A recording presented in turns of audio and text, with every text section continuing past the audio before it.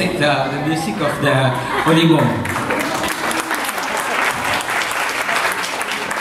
Uh, so this one is a new instrument. This is called the kubing.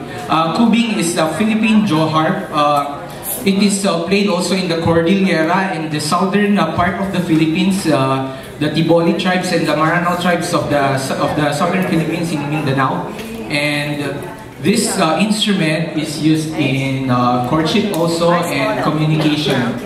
So we're gonna play to you this one. Uh, this is how to play. You hold it in horizontally, and then uh, you it's like you're vocalizing. Yeah. So okay, I'm gonna play this one. Hope you will like it.